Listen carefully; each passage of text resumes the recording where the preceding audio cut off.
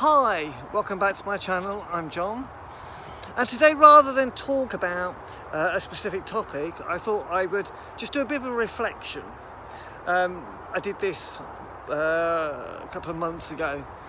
Um, you know, we're halfway through the year and I've been keeping up a YouTube channel, a video every week for six months. How? That kind of commitment is unusual for me. So we've got six months to go. I've got a few things planned. we're going camping again, so I'm hoping that you will join me.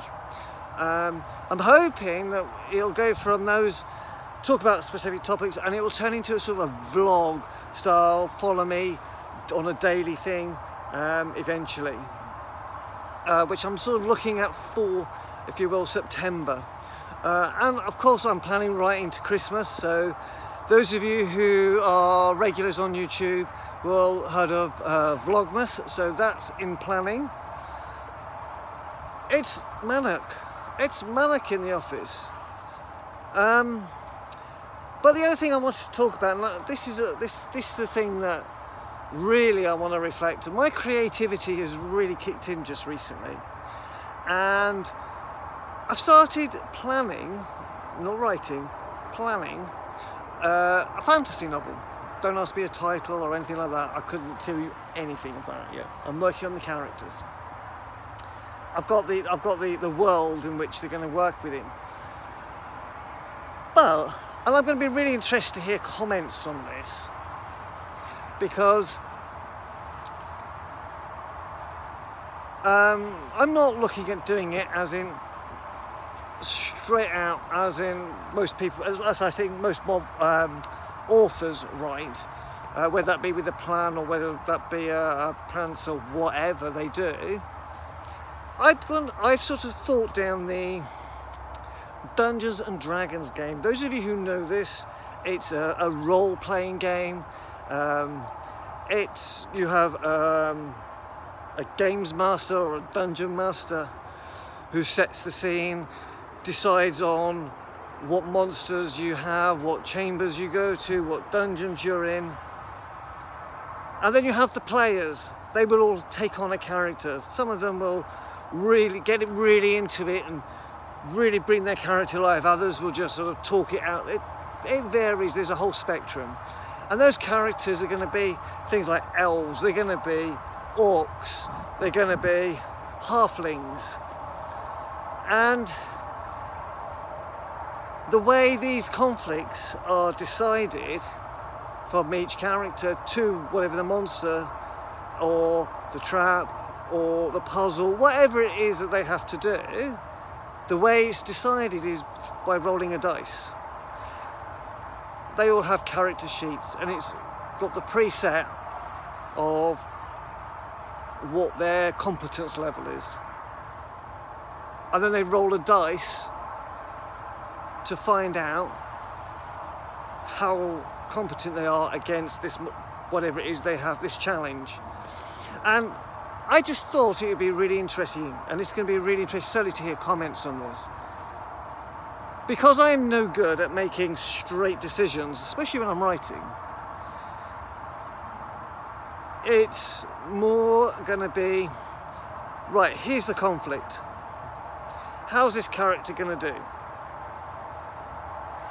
but to make it more real and more random, I thought, I'm going to use the Dungeon and Dragon dice. Because it's interesting. It's something different. So it would be things like the character comes into a town and then you roll the, you, you pick where those characters could possibly go. Then you roll a dice, so the dice decide where they go, who they talk to. And to me it just sounds really interesting, it makes it a bit more fun. And I wonder what you guys thought of it. Those of you who are writers that watch this. Because I think for something like that, an adventure using that method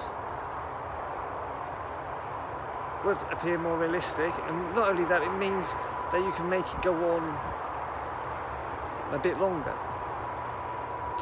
Um, you know, you can have new characters coming in as deaths happen, and all the rest of that. You know, do a real uh, R. Martin's style where you can have hundreds of characters. Um, but yeah, that's what I'm looking at. Um, what else is going on? Oh, we've got um, a couple of events coming up. Those of you who watch um, my business YouTube, you will see that there's stuff coming up on that. Uh, we have Community Spirit, we have the Poppy, uh, or the colour of pop, colours of Poppy, sorry. Um, yeah, so it, it's busy times. It's busy times, and I've got a holiday to come up. Um, I'm going to camp. I've already said that. Uh, we're going to walk. Uh, we might do a drive.